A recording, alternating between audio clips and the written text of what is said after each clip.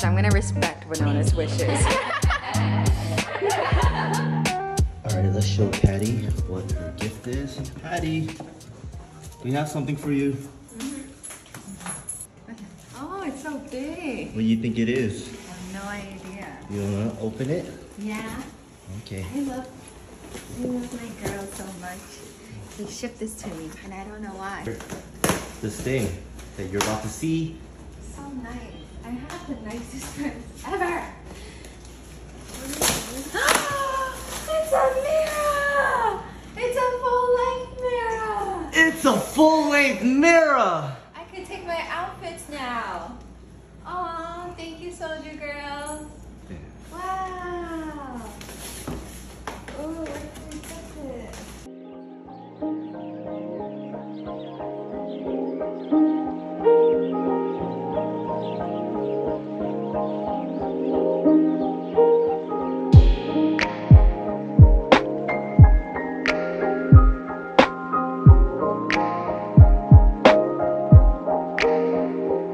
Mama made milk tea. Look how pretty these mooncakes are. Mama made these mooncakes from scratch. Wow.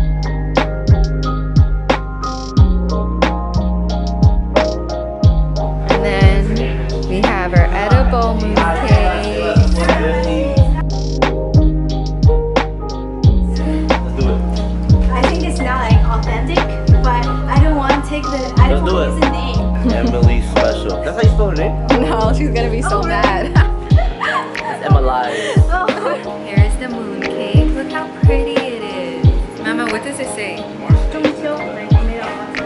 啊，中中中秋没有？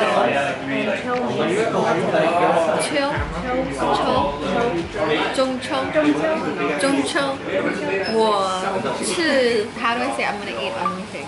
我吃月饼。我有我有吃，我有吃月饼，我有吃月饼。嗯。嗯。，The egg is really good. One of the activities we're gonna do later is we're gonna paint our own lantern. It's gonna be so cute. Alright, with all these punch, flower shaped punch. You can also use that snow shaped punch, star one.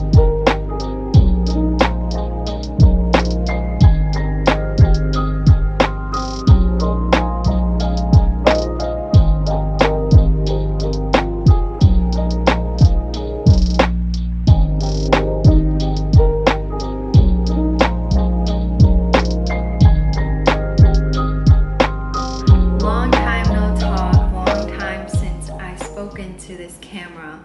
So I took a couple months off of vlogging. I think I stopped in June. I was just feeling so overwhelmed. In my life, there was so much going on. My nine to five was getting extremely stressful. The city has opened back up and every single one of my weekends was getting filled with social plans, which is great because I love seeing my friends. I love seeing my family, but then I also had other things going on. Like I started a side business, which is taking so much of my time. And I just got to the point where I got burnt out. The only reasonable thing I could take off my plate that I saw was vlogging because this was more so a side hobby for me. And I think that helped a little bit. I hope none of this comes off as me complaining because I'm so so grateful for the life that I have and I'm so like I feel so honored and lucky. I feel like I didn't have any alone time at all. Working from home, right when I wake up, I'm doing work. When I end work, I don't it's I don't really have alone time because I live with someone. So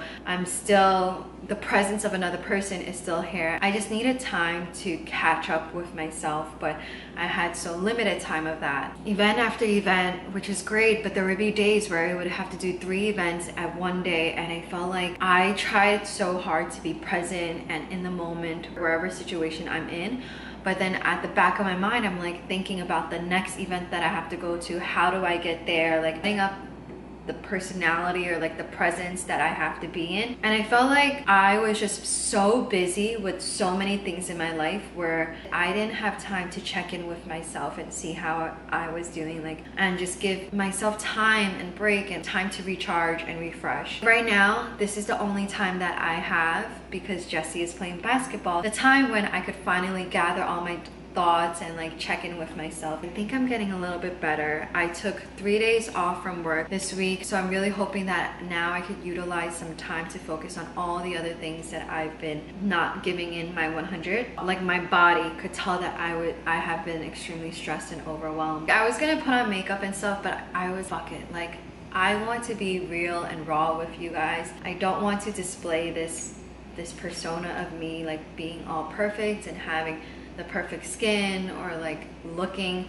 a certain way because I don't. I am breaking out so much and this is probably the most that I've broken out in a while. All of this is from stress and at the end of August, it got to the point where I was like, I need to take control of my schedule. I am always a yes girl. The environment that I grew up in is to please people. That's the way that I was raised is to always trying to cater to others and I think that is one of the reasons why I got burnt out because family would want to see me. I'm I always say yes. It also comes from like guilt of not seeing my family. As a daughter of an immigrant, that it is my duty to take care of my family. So like going back to Brooklyn, but then when I do see my family, it does get very stressful and then straining on my mental health. Anytime that I do have free time, I am thinking about like what could I do? I need to finish my September book or I need to create TikToks. I need to vlog. I need to focus on my side business. So much is going on and these are all great, great problems to have. Again, I don't want it to seem like I'm complaining. I'm so grateful that these are the things that I'm facing in in life.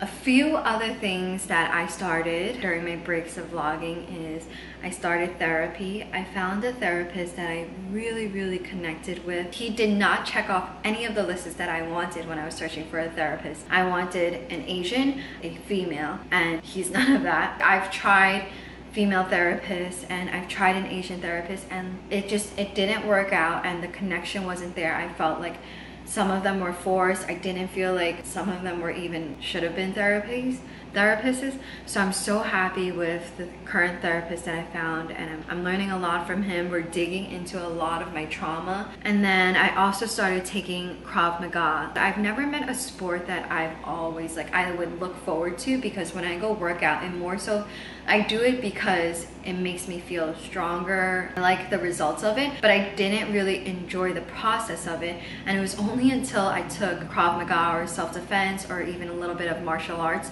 and boxing where I realized like I enjoy doing this. Like I look forward going to classes. It is still very uncomfortable for me because you're you're sparring with strangers, people that you never met, and then getting out of the shell of speaking loudly and fighting back where it's getting me to get outside of my comfort zone and it's not just in this sport, but then it passes on in other areas of my life. That is it. That's our little catch up for today. I'll talk to you guys soon.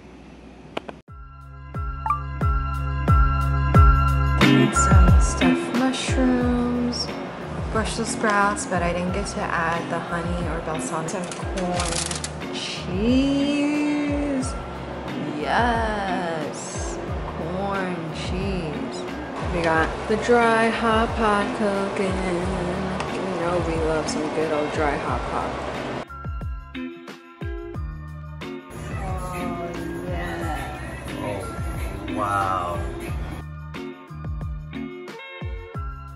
Mau Mau got us cheesecake. I have two flavors, taro one and original. Oh, I love taro.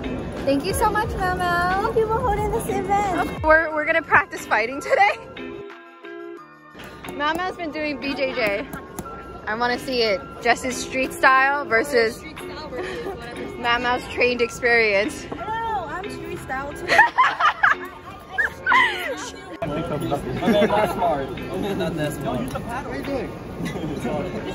it's not Mau Mau.